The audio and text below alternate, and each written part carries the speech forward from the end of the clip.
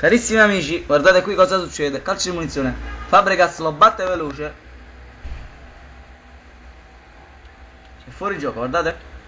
Qui è fuori gioco, di qui non c'è nessuno. Ma guardate qui, guarda linee. Impassibile, tutto regolare. Ri- rivediamo. E l'azione continua. Ri- Rivediamo. rivediamo. Rivediamo il fuorigioco.